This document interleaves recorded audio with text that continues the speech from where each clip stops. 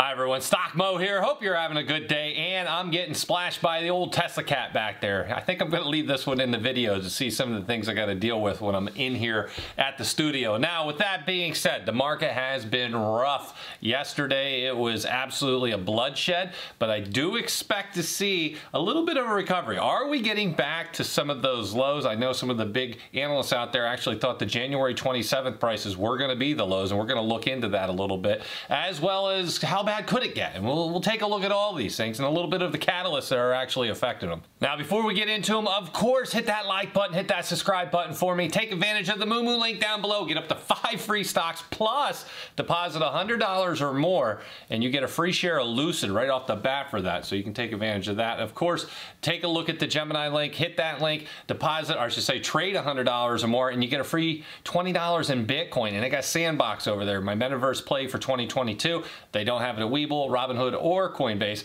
But once Coinbase adds it, I figure it'll get that pop up there probably around 8 to $10 range. So I really like that. Now we can take a look at the markets. What's going on? I wanted to have a talk with everyone today. Sit down, get people mentally prepared for what we're dealing with in the market. Talk about some of these catalysts of what is going on and where we can go right now as investors because for a lot of people out there, they've never been through a major correction slash maybe even bear market, depending where this thing goes. But that's why I'm here. I've been through a whole lot of these, man. I've been through the dot-com bust when the NASDAQ dropped 70 5% from the highs. We're not even close to that here. And no, I don't believe that's going to happen either. But take a look at this Dow Jones, S&P 500, NASDAQ all down big time. NASDAQ just got crushed. I think Dow Jones, this was the worst day for the Dow Jones in 2022. Russell down 2.46 and you see the VIX spiking. Now after a day like this, and you can see a lot of my main plays there, after a day like this, you usually expect to see a recovery. Call it a dead cat bounce, and yeah, Tesla Cat left the studio, so we're safe here, but call it a dead cat bounce, which in financial terms means when you have a big drop, it comes up a little bit the next day and then it drops some more. Is that going to be the way it happens, or are we actually going to start seeing some growth here, some movement? Well, I think a lot of that's going to come down to a few things. One, Ukraine and Russia. That is just simmering. We know that uh, Russia now has, I believe, 150,000 soldiers around the border. So there's a lot of things going on. And I'm going to tell you what, until that is settled, you are going to continue to see volatility in the market. Any news stories, any movement, any new things that are reported will continue to drive investors to safety, to cash, to treasuries. They're going to be leaving the market. A lot of them are. Now, me, on the other hand, I am looking at this to take advantage of it because I believe this is going to be a temporary dip. I'm hoping cooler heads come out of this situation and we see the market rebound quickly. I think once we get uh, final decision here on what's going to happen one way or the other then you'll see the market start to price things in. Obviously, an invasion would lead to what I predicted would be a 5 to 10% drop in the overall markets. If they do not invade, I would expect to see the markets actually prop up a good 3 to 5% within a few days, just because that would finally be clearing up. Now, the other thing we got to deal with is the Fed. Oh, Jay Powell down there, always putting my portfolio on his shoulders. That's right. I want to see what Jay Powell does for us. We know that the Fed has that March 15th, 16th meeting coming up. We know that uh, Bullard's out there wanting to be a bull with the rates and move them up at least a half a percent in March. Uh, we're going to find out. I think that also is uh, putting a lot of fear in the market for some people. And the notes were released. I told you two days ago that it was going to take some time to digest it. Yesterday was that digestion. A lot of uh, a lot of selling out there based on what they were reading into that. You know, and that leads to whatever it is. You, you combine it all. It is. It was a mess. Now here's the good news. COVID cases continue to plummet in the U.S. That's good news. We got good things going on. I think some of the recovery plays are set to blow up. I like Disney. I like a lot of the hotels, some cruise lines. There are plays that I think are ready to snap back. and we're going to watch out for who they are. We'll be talking about them more and more on the channel here as we move forward. So if you haven't done it, you're going to want to hit that like, subscribe, and everything else down there uh, that you can to make sure you don't miss any of this. And of course, go over to my Patreon. If you want to see all the latest buys and sells, I got that over there. Portfolios over there. Lots of good things. Private Discord, thousands of members for those who want to support the channel. I highly suggest coming over and joining us. Now, as we move into the actual market, we're going to talk a little bit more about how to prepare for this because I've said this before. As you look at this chart, where would you want to buy? You want to buy down to the bottom, right? Most people are more comfortable buying when it's green, it's going up, we're all happy. But in truth, when you look at a long-term chart, and we'll, we'll say, uh, we'll look at the five-year chart, where would you want to buy? Of course, you want to buy right here. You want to buy back in, what was that, March 20th, 2020. That was when the fear index was through the roof. Everything was the worst but that's when you wanted to buy. And I said this before to people. We're going to go up and look at the VIX. Use this as your predictor of is this is are we close to where it's going to be the worst it is? And if we go back to that March 20th and look at this, what day was this on? March 20th, the highs. So you see the VIX topping out on the worst possible day. And then where does it go from there? We know that next bull run started and it went way up. And then you can go back and take a look at the NASDAQ back at that time. Uh, we'll go to the five year, make it easier. You can see at that point, and that's when that VIX was through the roof, we went all the way up to 1.133% up.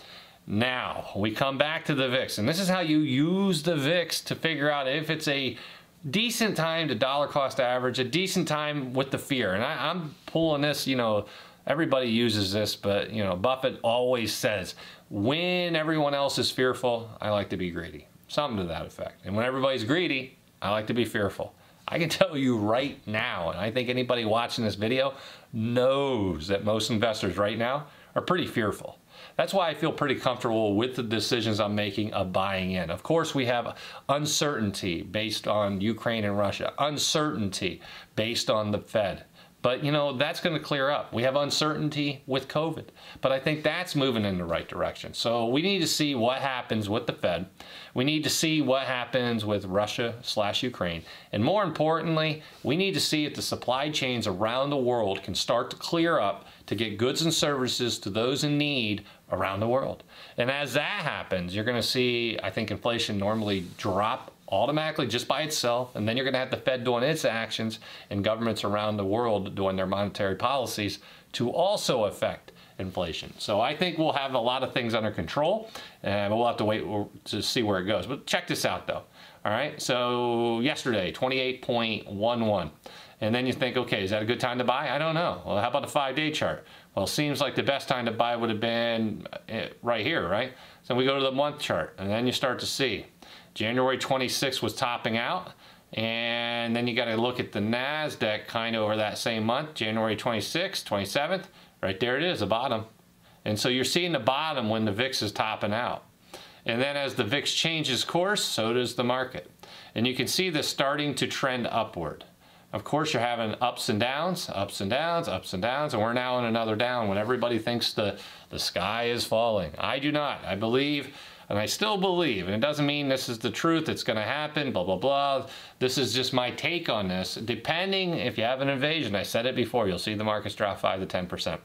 But at this point, if we do not see an invasion and we still see kind of what we're seeing, I would think that this would be the low and that we wouldn't see an additional 5% drop at this point but we don't know. And I keep dollar cost averaging it. That's how I'm playing it. If I'm wrong, that's fine. I keep buying and it could go a little bit lower, but uh, I'm in it for the long term at this point. At this point, we already know if you look at the NASDAQ, it's already down substantial from the highs. And when I see it down there, it's down like 16.97 at this point. To me, that is a fantastic opportunity into a correction to start adding to your portfolio, taking advantage of this, because down the road, and you know the old saying, when in doubt, zoom out, you start zooming out. All right, well, that doesn't look good. That's the Russell 2000, right? How about we zoom out some more? Oh, well, five years, it's up 45, then you go to max, and you start to see long term, even the Russell continues to go higher, 262%. We go to the NASDAQ, uh, which is I think is a better interpretation of some of that zoom out when in doubt. And you go five years, you see 134, you go max, and then all of a sudden you see 7,400. That's what really gets people going when you see that.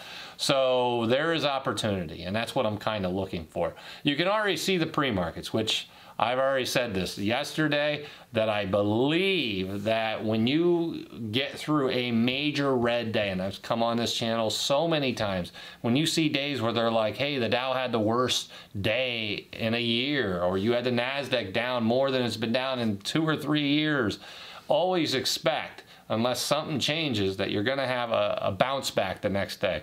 Will it hold? Will we go up? Is that the beginning of the next run? We don't know. But with these uncertainties, we know one thing, the volatility is going to be there. So you can see already in the pre-market, uh, NASDAQ futures up 0.75, 0.59 S&P, 0.48, 100 points already in the NASDAQ. I'm telling you, the sell-off was too much, just too much. And then you get down and you can take a look at the bonds. They're getting closer and closer. Remember, I said uh, the flattening of the curve is the difference between the 10-year and the 2-year. And you can see this dropped three, Uh, 0.03% or three basis points. And you can see this one actually dropped seven basis points or 0.07%. So now they're even more closer by four basis points, roughly. And so the flattening of the curve continues. And so that's something I'm watching for. When we see the two year actually paying a higher percentage than the 10 year, that's a pretty good sign. You just might be in store for a recession. And we'll watch because that's uh, something we all have to watch out for. You won't know because it takes two quarterly declines in GDP consecutively to know that you are in one. And you don't know you're in one until you are officially in one. You got to wait for those two quarters. So you never know when that's going to be happening. Could it be now? Could it be spring? Could it be summer, in the fall, in the winter? We'll find out. I actually think the next two, I think the third and fourth quarters are going to be huge uh, for the stock markets. We're getting down there. I think the S&P 500, I'm sticking with that. Uh, I already said this before. I believe the S&P 500 will roll up to between 5,000 and 5,200 by year's end. And I know if we actually look at where that's at right now, it's only at 4380. And that tells you for that to happen, we're talking 620 points you are looking at a solid 13, 14, 15% gain from here in the next nine months. And yes, I do believe it's going to happen. And I'm actually putting my money where my mouth is. I have the leverage portfolio where I've been buying some leverage plays to do that. So if you'd like to see all them, I highly recommend coming over and joining us at the Patreon. Link down below. I'm telling you, it's going to be a wild ride. Last year we were able to pull 80 to 90,000 in profit out, out of a $100,000 investment. This year, it is a wild start to the year, so you know there's volatility and it's not in a good way. And, but I've been dollar cost averaging in and I got a couple more bucks to put into it, but I'm going to be moving things around as well as I figure out the best places to take advantage of this. But right now, that's what I'm kind of looking at. So this is the update for today. There's a lot of things to watch. But moving forward, I am still loading up on this. I feel so good about the long-term prospects of the S&P 500, the American economy, the world. But we do got to get through these unknowns. March is going to be tough for the first few weeks, but after everything's priced in after that, I believe we start that run up. So we'll, we'll see how this all plays out. Now at that point, if you haven't done it, take advantage of the Moomoo link down below. Get that free share of Lucid. All you got to do is deposit $100 or more, and you can also get an additional five free shares of stock for hitting certain deposit levels. I got the Gemini link down there where you get $20 in free Bitcoin just for trading $100. You can take advantage of that. They got the sandbox over there, which I absolutely love. And then we got Coinbase down below where you get some free Bitcoin for doing the email and ID verification. You got the BlockFi link down there. Take advantage of that one. And of course, I got the TipRanks and the Patreon link. That's the big one. Come on over and join us. I appreciate you stopping by. Let's get out there and make some money.